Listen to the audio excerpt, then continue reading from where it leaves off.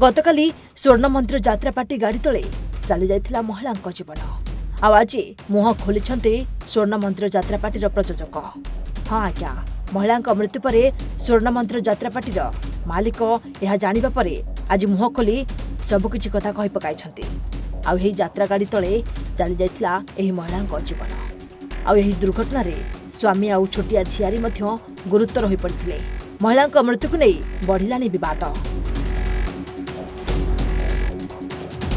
ହଁ ଆଜ୍ଞା ଷଣ୍ଡପୁର ଚାରିଛକ ନିକଟରେ ଚାଲିଥିଲା ସ୍ୱର୍ଣ୍ଣ ମନ୍ଦିର ଯାତ୍ରାପାଟିର ଯାତ୍ରା ସେଠାରୁ ଯାତ୍ରା ସରିବା ପରେ ଟ୍ରକ୍ ଯୋଗେ ସବୁ ଜିନିଷ ଅନ୍ୟ ସ୍ଥାନକୁ ଯାତ୍ରା ନିମନ୍ତେ ସ୍ଥାନାନ୍ତର କରୁଥିବା ବେଳେ ଅଧା ବାଟରେ ସ୍ୱର୍ଣ୍ଣ ମନ୍ଦିର ଯାତ୍ରାପାଟି ଟ୍ରକ୍କୁ କିଛି ଲୋକ ଅଟକାଇଥିଲେ ଆଉ ଡ୍ରାଇଭରକୁ ମାଡ଼ ମାରିବା ସହ ତାଙ୍କୁ ଧମକ ମଧ୍ୟ ଦେଇଥିଲେ ଗାଡ଼ିକୁ ଛାଡ଼ି ଡ୍ରାଇଭର ମଧ୍ୟ ଫେରାର ହୋଇଯାଇଥିଲା ସ୍ୱର୍ଣ୍ଣ ମନ୍ଦିର ଯାତ୍ରାପାଟିର ପ୍ରଯୋଜକ ମୁହଁ ଖୋଲି କହିଛନ୍ତି ଟ୍ରକ୍ ଡ୍ରାଇଭରକୁ ମାଡ଼ ମାରିବା ସହ ଅନ୍ୟତ୍ର ତିରିଶରୁ ଚାଳିଶ ଜଣ ଲୋକେ ଗତକାଲି ଟ୍ରକ୍କୁ ଆଣି ଦୁର୍ଘଟଣା ଘଟାଇଛନ୍ତି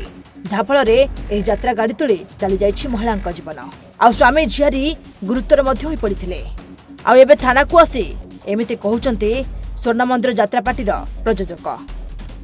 ଗାଡ଼ି ସହିତ ଏମାନଙ୍କର ଧକ୍କା ହେଇଛି କ'ଣ କ୍ଷୟକ୍ଷତି ହେଇଛି ଆମେ ଥାନାକୁ ଆସୁଛୁ ସେ କଥାଟାକୁ ବୁଝିବା ପାଇଁ ତାପରେ ଆମେ ଆସୁଛୁ ଥାନାରେ ରିପୋର୍ଟ ଦେବୁ ଯେଉଁ ଦୁର୍ବୃତ୍ତମାନେ ଏସବୁ କାଣ୍ଡ ଘଟେଇଛନ୍ତି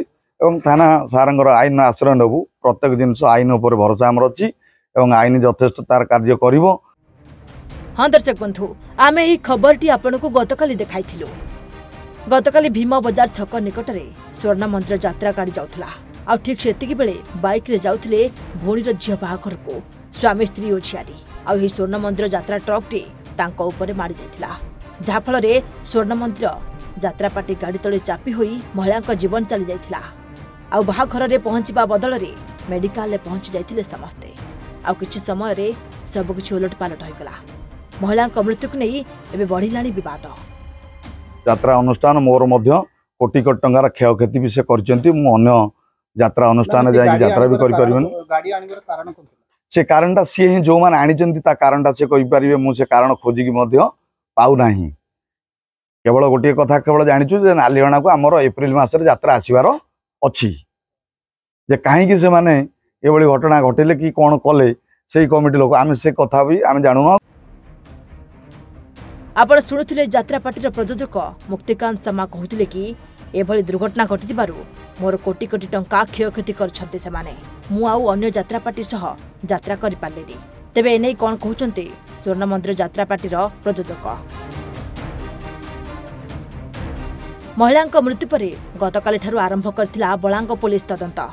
ପ୍ରଥମେ ସ୍ୱର୍ଣ୍ଣ ମନ୍ଦିର ଯାତ୍ରାପାର୍ଟିର ମାଲିକଙ୍କୁ ଥାନାକୁ ଡକାଯାଇଥିଲା ଆଉ ଥାନାରେ ହାଜର ହେବା ପରେ ମାଲିକ କହିଛନ୍ତି ନାଲିଅଣା ଲୋକେ ମୋ ଡ୍ରାଇଭରକୁ ମାଡ଼ ମାରିବା ସହ ତିରିଶରୁ ଚାଳିଶ ଜଣ ଲୋକେ ଗାଡ଼ିକୁ ନେଇ ଆସିଛନ୍ତି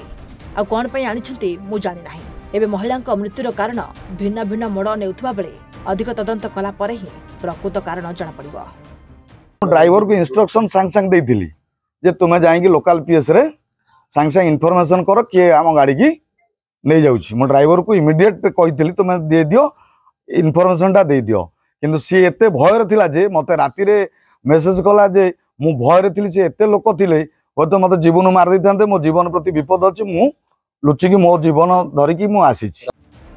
ପିପିଲିରୁ ରାଜପ୍ରସାଦ ଦାସଙ୍କ ରିପୋର୍ଟ ଓଡ଼ିଶା ଭାସ୍କର